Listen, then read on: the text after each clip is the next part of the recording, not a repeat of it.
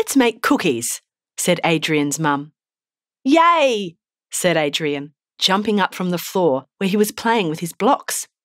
Can we use the shape cutters? That's a great idea, smiled his mum. But let's wash our hands first.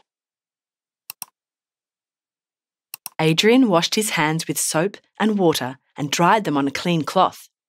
Then he watched his mum pull open a kitchen drawer and pick out the metal cookie cutters one by one a square, a triangle, a circle, a hexagon, a rectangle, and an oval. Adrian hopped up on a stool to get a good view. Time to get messy, said Adrian's mum.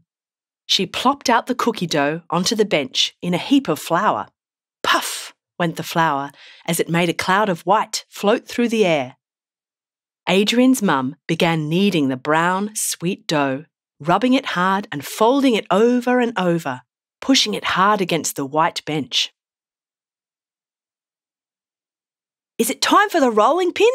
asked Adrian excitedly. I think so, said his mum, reaching for the rolling pin and handing it to Adrian. Adrian rolled and rolled and rolled the dough. It was hard work. Lots of it stuck to the rolling pin. Adrian's mum sprinkled the dough with more white flour. After a little while, the dough was nice and flat and the cookies were ready to be cut. A circle first, said Adrian as he pushed the circle cookie cutter into the thin, soft dough. His mum carefully picked up the freshly cut circle and placed it on a baking tray. Now a square, he said, pushing the silver cutter down into the dough. Together, Adrian and his mum made all kinds of cookie shapes ovals, squares, rectangles, circles, hexagons, and triangles. Into the oven they went.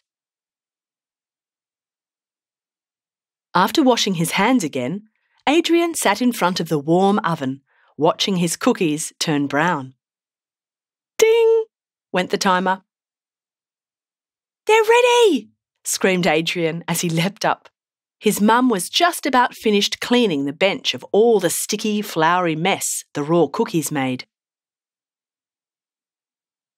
Ooh, they look yummy, she said as she pulled the crunchy cookies out and placed them on a cooling rack. Can I eat them now, Mummy? Please, please, please, cried Adrian. Not yet, darling. They have to cool down first. Oh, not fair, whined Adrian as he stood on the stool, watching the cookies intently. And then something strange happened. Adrian started to see pictures in his cookies. Mum, look! When you put a triangle on top of a square, it looks like a house. You're right, she said, smiling.